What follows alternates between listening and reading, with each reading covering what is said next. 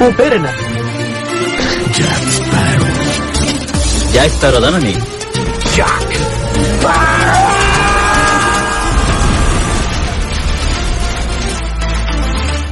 Captain jack ஸ்பேரோன்னு சரியா சொல்லுங்க.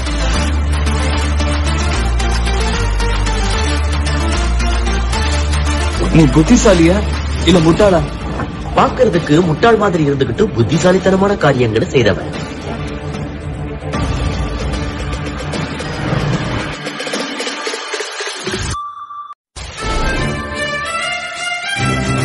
உன் பேர் என்ன